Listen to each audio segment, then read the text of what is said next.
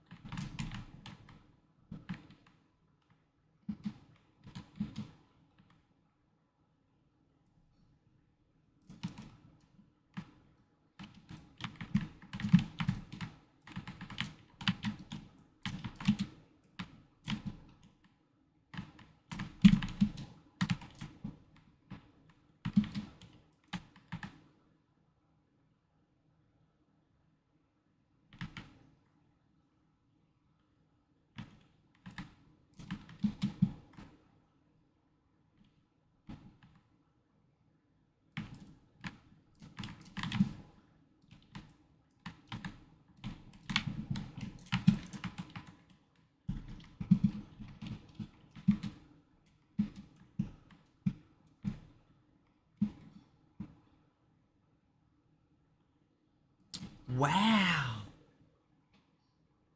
I just got reported so much in that match that I got shadow banned from the shadow ban match.